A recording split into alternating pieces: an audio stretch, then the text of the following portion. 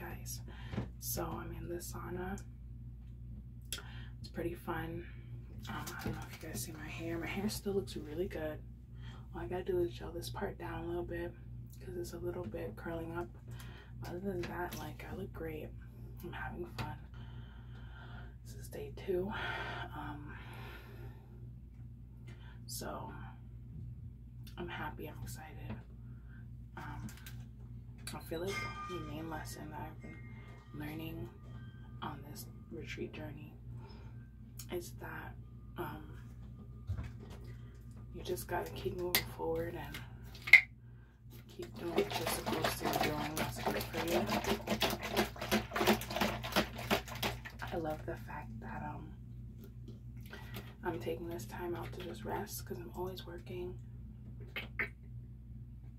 I'm always doing something. Like, I never have a chance to just sit down and do nothing, just think, just like meditate and just focus on what I want to do next, or not even what I want to do next, just chill. Like, I'm always thinking about the next move. What's the next? What's next?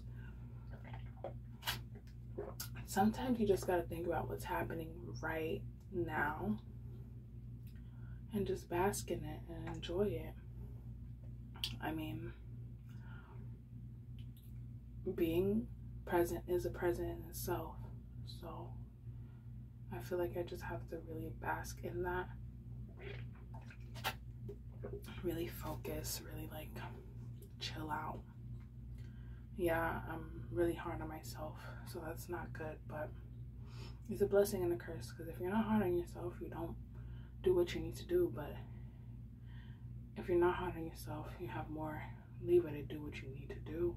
And it's like when you're hard on yourself, you're just criticizing yourself when you don't need to criticize yourself.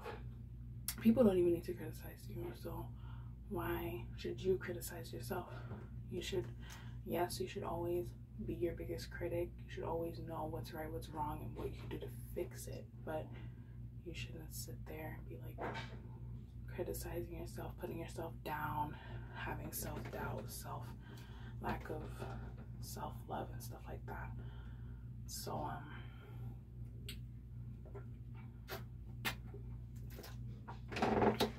yeah. So, um, I'm definitely enjoying myself. Um, number one thing I've learned in the past couple weeks is that consistency is key. And I feel like if you're consistent and you keep moving forward, keep moving forward, don't give up whatever you do. Don't give up, especially if it's something positive and it's good for you and your community and people around you. And it's the right way to make money. Don't give up. Because one day you will get it. Like, that's one thing about me. Whenever I put my mind to something or whenever I want something, I get it. And it's not just because I'm a child of God or just because I'm chosen or because God answers my prayers. That's one aspect of it. And of course, I thank God for that as well. But it's also just a principle that I feel like everyone should have. Just be consistent and keep going. You will always get you will always get what you want. You just have to keep pushing forward and keep on focusing on yourself and God. And eventually you will get what you want. It just takes time, perseverance, self love, self care, self respect, and then things start to fall into place.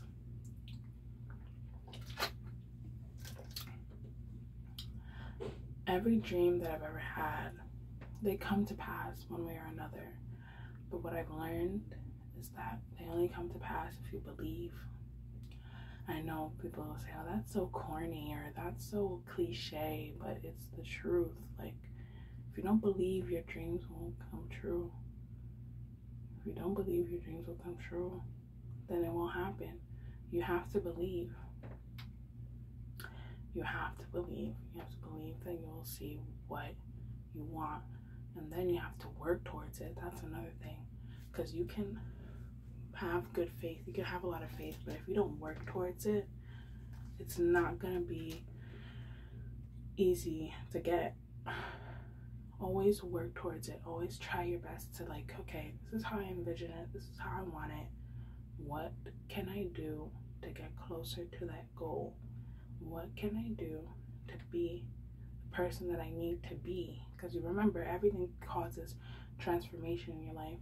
Every time you're learning something, every time you're doing something, every time you're researching something, you're growing in knowledge, you're growing in wisdom. So every time you learn about different things, you're turning into a whole different person. So you have to ask God, and um, this is applying to me too. This is a prayer for me as well, and God's with me, so I know. You have to ask God, can you please transform me into the person that I need to be to not only get these blessings, but to maintain and keep them well. And that, that's a that's a prayer I've always said, and I've always thought of, and I always pray that all the time. Praying right now, God, make me the person that I need to be to not only have my blessings, but to keep them. Because yes, you can have a blessing, you can get a car, you can have a blessing, you can get a house, but if you don't know how to maintain and keep it, you can lose it or it can lose its value. So I just pray that I have enough energy, enough guidance, enough persistence, enough substance to keep these blessings once I get them. And I pray that nothing or no one can stand in the way of that. In Jesus' name, amen. So now I'm I'm happy. I'm in the sauna. And I feel like you just gotta like really focus. Like it's not easy, especially when you come in uh, when you're growing up in an environment where growing up in an environment where that says, oh well, work a regular nine to five, work regular this, regular that, or you do little gigs here and there, and that's it. No, there's more to life than that. It's more to life than that, and I know that there is. Um, if you're around the right people, and most importantly, God, He will reveal these blessings to you. He will reveal different ways of income and how you can take whatever you're strong at and make money off of it.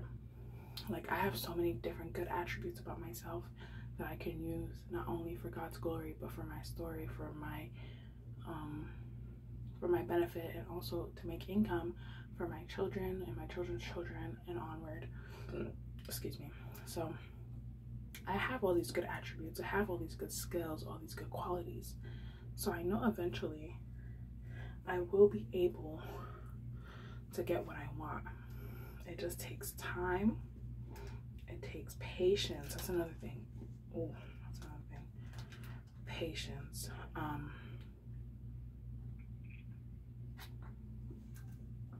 that's a fruit of the Spirit, a fruit of the Holy Spirit. You have to have patience. When you have patience, you get what you want. It just takes time, and it's just like sometimes you're just so impatient. Like I'm one thing about me, like I, it's not that I'm impatient. I'm just tired of waiting, and it's not that I'm tired of waiting. It's just like I kind of want it instantly. But my God, God that I serve, gives everything in its time. Because not only is that the best way to do it, it's the best way to keep it. If you rush the process, if you try to rush the process, it won't work or it won't be as effective as it should be. But if you take your time and focus and relax and ease your way into what you're doing, eventually you will get what you want. It just takes time. So,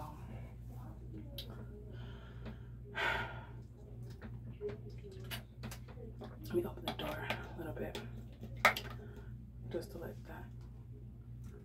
Okay, well, look,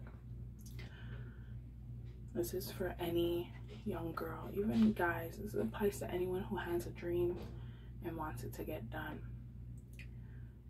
stay focused, be patient, because you can't sit there and just do all this work and then give up at the last second. Don't give up. You do all this work, you do all this effort, you learn all this knowledge. Finish what God started. Finish what you started. Finish what God has planned for your life. It even says in the Bible that God will finish the works that He starts in your life. So you just have to trust and believe that it will be finished. If you're able to get all these little things, these tiny things that don't really mean anything unless it means something to you, what makes you think He won't give you bigger? What makes you think He won't give you more? Especially when it's the right time and when you're ready for it. So I encourage everyone that's watching this, including myself. This is a, this is this is really a, a pep talk to a pep talk to myself. But I wanted to put this on my YouTube because I know eventually I will look back at this video and I'll be grateful that I didn't give up. I'll be grateful that I didn't stop what I was trying to do, what God told me I should do. So this is me talking to my future, my past, and my present self.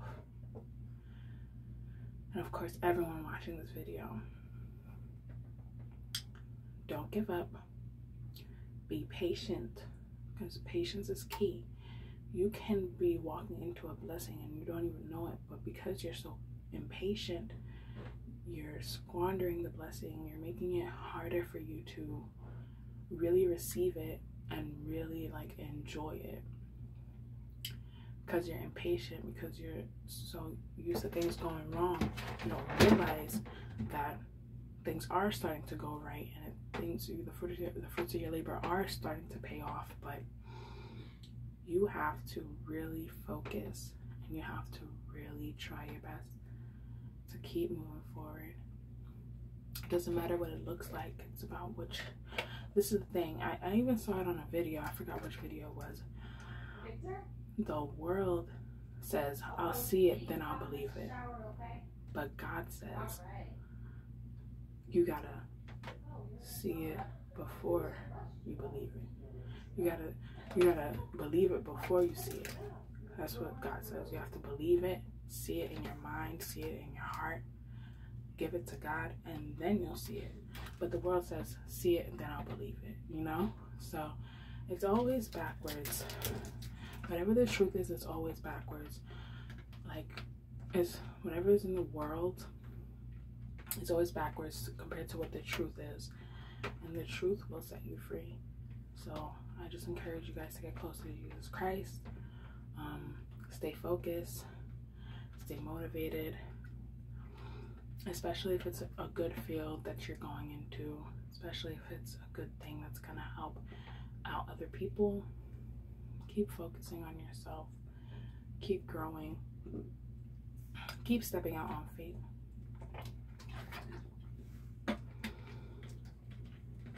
Because it will pay off one day. Might not be today, might not be tomorrow, but one day you're to turn back, you're to look back, you're to see all the times you were struggling and no one helped you all the times you were working hard and you felt like you couldn't make it. And you're gonna look back and you're gonna be grateful that you didn't. so i encourage you today just stay focused and do what you need to do. God is good. Always look out for you even in the times you feel like you won't make it or you're not okay or things don't work out the way you want them to. It's always for a reason. And God will give you better.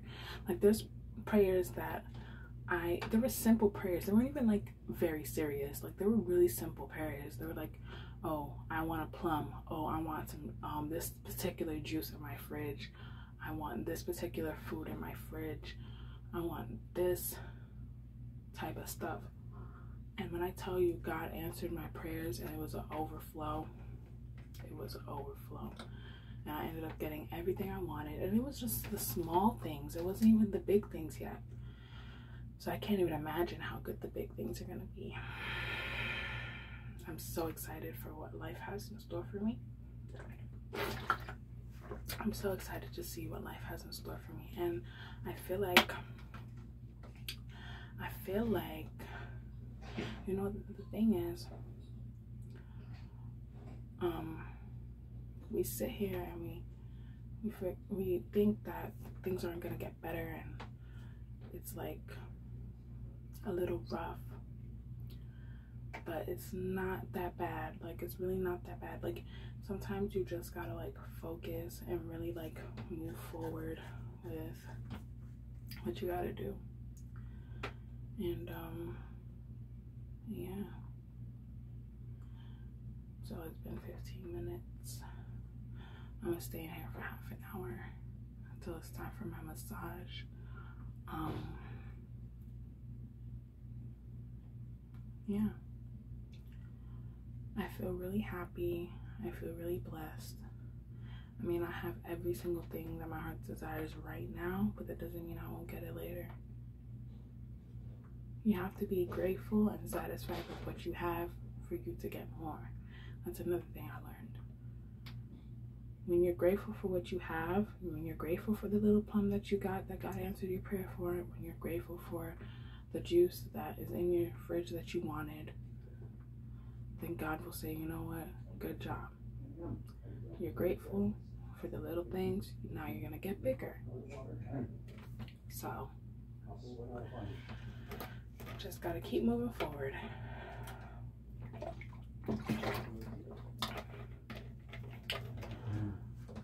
There were times in my life where I almost died multiple times. And that's how I knew God was with me because only God can spare someone's life. Only God.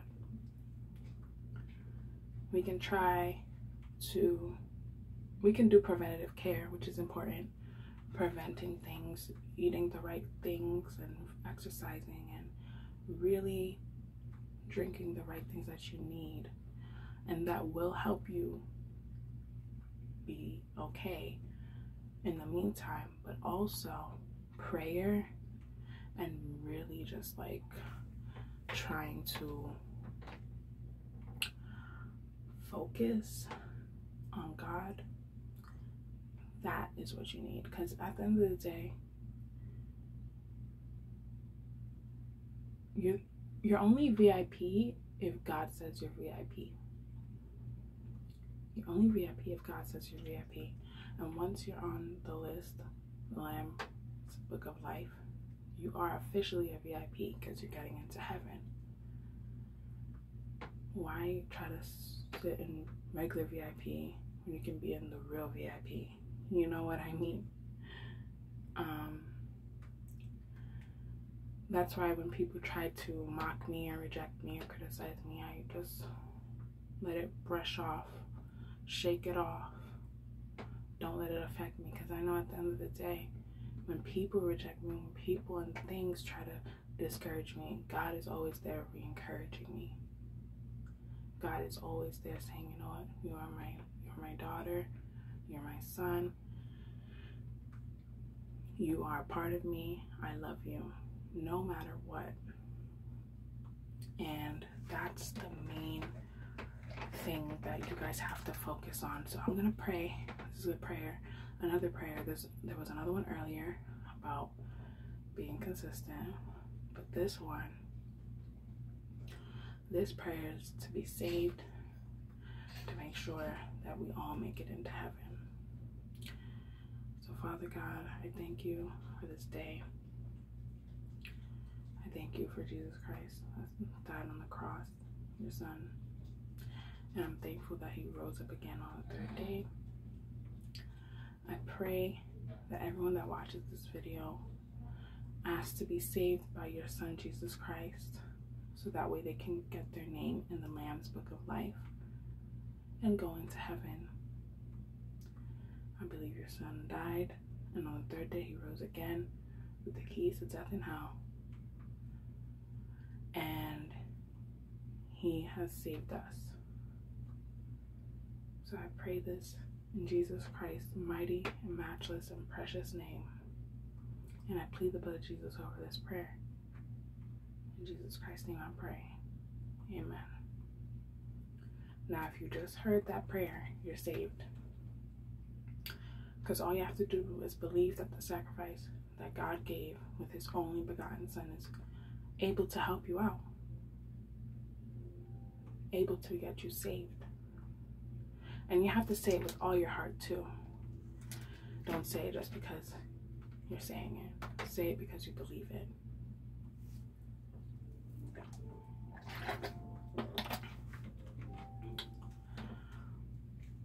God will change your life. It takes time. And sometimes the devil will try to discourage you. He will, because he doesn't want you to make it into heaven. He wants you to be in hell with him. But the devil has no power over God's power. God created the devil. So he knows how to stop him. Matter of fact, there's this story um, um, this lady said she wanted groceries, right? And she didn't have the money for it. So she said, God, she asked Jesus Christ, hey, I need groceries. I don't know how I'm going to get it. Then, a man that serves the devil was trying to um, mock her and brought a bunch of groceries to her, her front door and left the groceries there and said, The devil brought you this. You know what the lady said? The lady said, Even the devil has to ask God permission before he does something. God has to send the devil to do anything because God is in charge.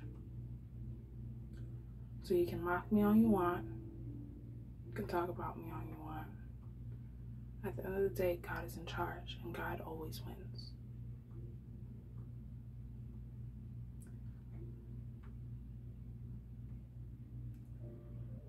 God will use the devil to bless you.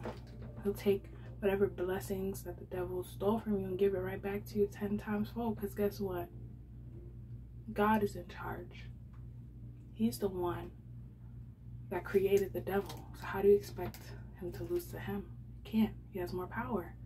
He thought of the idea of him before he was even made. So you can't can't try to say that. Might be rough, might be a little bit of stagnation, but at the end of the day, you're gonna get exactly what you wanted, especially if it's according to God's will and purpose for your life. So I just want to thank God for his everlasting power and glory over my life. His everlasting protection. Because back in November, I don't know if you, there's a video where I said I'll turn my hair into a silk press. The day after, I went to open mic and someone almost shot me. This is my testimony. God saved my life. The enemy tried to take me out right in front of everyone. But guess what? The power of God wouldn't let him the guy that came, I don't know if it was a setup. I'm gonna call, I'm gonna call God, call God. I'm gonna pray to God and I'm gonna ask him, hey, who sent that guy? Because I don't know if it was just him being bitter because he didn't win the $200. It's $200. A $200 check is a one day at work at a minimum wage job, but whatever. The winning was $200 and it was um, a placement in a concert with other artists.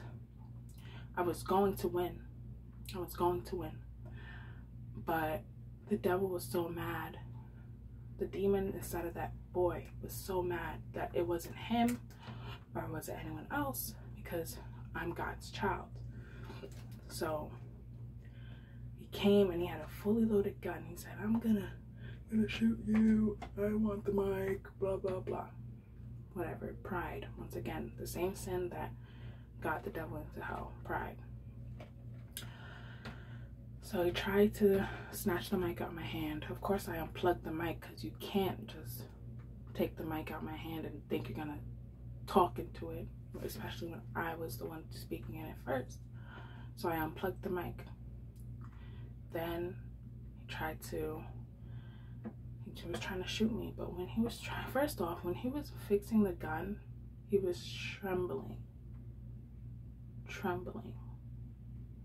Because the power of God is over my life. Then, after that, when he was looking at me, he couldn't move the gun up to shoot me. He couldn't move it. My guardian angels and Jesus Christ and the Holy Spirit and the Abba Father, they were there because I was preaching the gospel. And before he could even reach his gun to pull it up, his hand couldn't move. Of course, the whole crowd was scared, so they started running away. But I was never scared because I knew that wasn't the day I was going to die. I knew God had a plan over my life and I was going to win. Not just the competition, but in life. And he looked at me and was trying to shoot me. He couldn't shoot me. He was trying to get me scared and vulnerable. I looked at him like the little punk he was. Stared at him straight in his eyes. I have no fear of you. No fear. Only person I fear is Jesus Christ because he can tell you he can tell the devil when or when not to mess with me. So I ain't scared of you. What am I going to be scared of you for? You're just a pawn. I'm the queen. Most valuable piece. So, and the piece that has the most moves. So you can try, but you will not succeed. No weapon formed against me shall prosper. And everything that's written in the Bible is true. So, it's been almost 30 minutes. I'm going to turn this off. But my last thing I want to say is that God loves you and I love you. And we're going to make it. It might be a little rough, but we're going to make it. And when we do, I'm going to give all the glory to Jesus Christ, my Lord and Savior, because he deserves it definitely deserves it. Definitely worthy. Most loyal person on my team. Humans will flake, men will flake, women will flake, but God is faithful. And He shows that time and time and time and time and time and time and time again and time again. He shows that He's faithful. So I just want to thank God for what He's doing in my life, what He's done and I just want to bless him and thank him. So I want to thank you guys for watching this video, hearing my testimony, hearing the prayers that are incorporated in this time I'm in the sauna just chilling. And I pray that next time you see like my YouTube, I'm in a better place financially, spiritually, mentally, physically. By the time you watch this video, I have another testimony to share that I'm not sharing right now because it's a secret. But once I get it, it's gonna be great. So I just want to thank you once again for watching. Jesus loves you. I love you. I gotta go. I got stuff to do. God bless you.